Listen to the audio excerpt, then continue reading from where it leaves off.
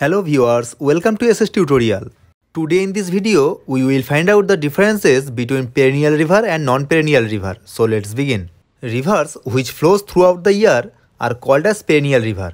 That means in case of perennial river, water remains available in all season.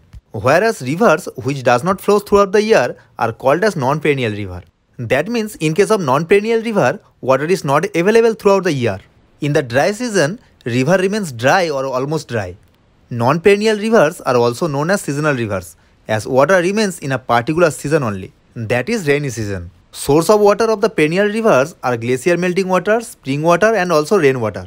Whereas source of water of the non-perennial rivers is only rainwater.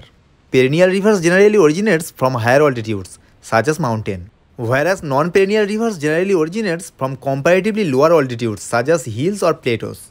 In case of perennial rivers, hydroelectricity generation, fishing, irrigation, navigation all are possible throughout the year as water is available throughout the year in the perennial river. But hydroelectricity generation, fishing, irrigation, navigation all are impossible throughout the year in the non-perennial rivers as they remains dry in the dry season. In the map, perennial rivers are shown by blue color, whereas in the map, non-perennial rivers are shown by black color. Perennial rivers are comparatively longer, but non-perennial rivers are comparatively shorter. Riverbed of perennial rivers are narrow and deep and river flows from gorges, whereas riverbed of non-perennial rivers are wide and shallow. As water is available throughout the year in the perennial rivers, so they are more important for human beings as well as environment. But as water is not available throughout the year in the non-perennial river, so they are less important for man and environment.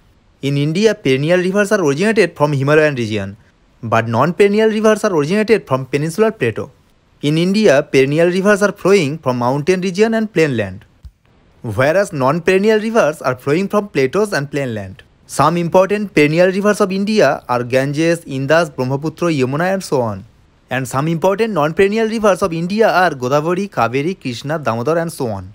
Hope all the differences are clear to you. That's it for today. Hope you like this video.